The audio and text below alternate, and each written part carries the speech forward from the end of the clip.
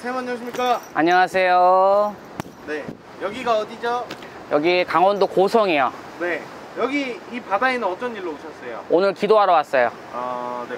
무슨 어떤 기도 하시는 거죠? 오늘 용궁에 이제 뭐 우리 신도님들 구독자님들 여기는 이제 인연 합의 이런 기도가 잘 되는 곳 중에 하나이기도 하고 이제 뭐 가장 큰 목적은 이제 다 재수죠 일단은 용왕에 왔으니까 바다는 일단 금전이니까 아, 바다가 금전이에요? 어 바닷물 용왕 큰 용왕은 재물을 많이 일으키기 때문에 네. 이제 우리가 재물 많이 벌어달라 용왕의 기도를 많이 하는데 여기는 좀 특이하게 인연 합의를 시켜준 역할을 하시는 분이 있어요 여기 여기 선왕이 아, 그- 여기만요? 어 여기만 여기 쪽에 아까 이제 제 이제 뭐 제 거 이제 브이로그 보시면 아시겠지만 그 영상 그게 있어요. 그래서 여기를 왔어요. 어... 그런 것 때문에. 네, 알겠습니다.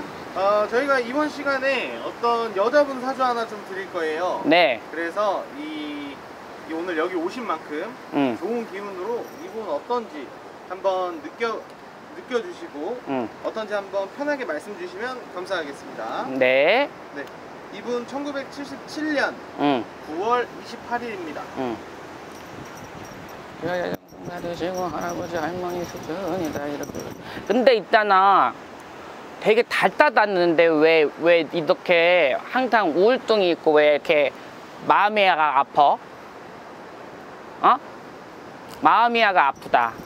자기가 되게 잘 닫았어. 근데 걱정이 없었다. 근데 걱정이 없었는데 지금 걱정수가 막 들어와서 마음이야를 못 잡고 되게 힘드는 수준이고 인간의 구털이 조금 따르는 수준인데 지금 근데 주변이야 사람 때문에 힘들어. 본인은 열심히 살았다, 열심히 살았다 하는데 주변이야 사람 때문에 좀 구설 TV 시비야가 붙어서 좀 자기, 자기 주변 역경과 시비가 너무 많아. 그래서 혼자 벌어, 혼자, 혼자 벌어가지고 다 내가 살아야 되고 내 주변에 남는 게 아무것도 없어. 그래서 혼자 고생 다 하고 살아야 돼.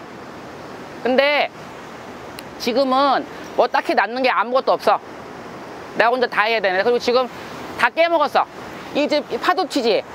이 파도야 치는 것처럼 파도처럼 낳는 게 지금 아무것도 없는데 낳는 거는 손에 맨주먹 맨손이고 다 다 내놔야 돼. 어떡하냐? 근데 8월이야 지나 9월이야 지나면은 이, 이 누나의 욕먹게 생겼다. 사람들한테. 말이 나와 8, 9월 달 되면 어? 뭐 시끄러운 일이 좀 생기고 말이 말이 나오는데 근데 왜, 왜 말이 나온다 그러지? 8, 9월 되면 이 사람이 좀 뭐가 시끄럽고 근데 이 사람이 좀 뭐 활동적이고 많이 움직이시는 분 같은데 좀 말이 좀 많이 나오는 것 같아 내가 봤을 적에 그리고 이 사람이 내가 봤을 때는 조금 많이 외롭다 그래야 되나? 뭐가 이렇게 내가 되게 많이 혼자서 뭔가를 많이 겪는 격수가 좀 많으신 분 같아요.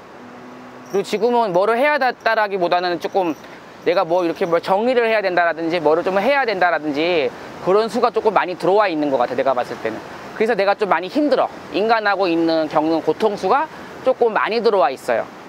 그래서 좀 많이 힘들어 하고 있는 것 같아 내가 봤을 때는. 알겠습니다. 8월, 9월 구설 수 있다고 말씀해 주셨는데 네. 좀 길게 봤을 때 내년 흐름 어떨까요? 흐름새는요 올해 지나고 내년에 뭐 어떻게 뭐 조금 내년 3, 4월? 한 5월부터는 좀 풀리는데 8, 9월 달에 조금 시비가 잘못 붙으면 좀 조금 1, 2, 3년이 시끄럽고요. 8, 9월 달에 조금 말수가 안 나오면 괜찮아요. 8, 9월 달에 좀 말수가 나올 것 같은 느낌이 조금 드, 드는 수준이라 8, 9월 달에 좀 잘 넘기셔야 될 것 같아요. 내가 봤을 때는.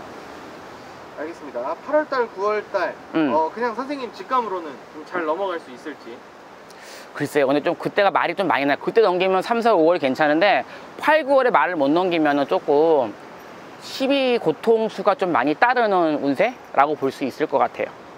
그리고 뭐가 혼자 걱정을 너무 많이 해. 나 혼자서. 근심이 너무 많아. 이제는 모든 거 반 포기 상태 같아요. 내가 봤을 때. 음.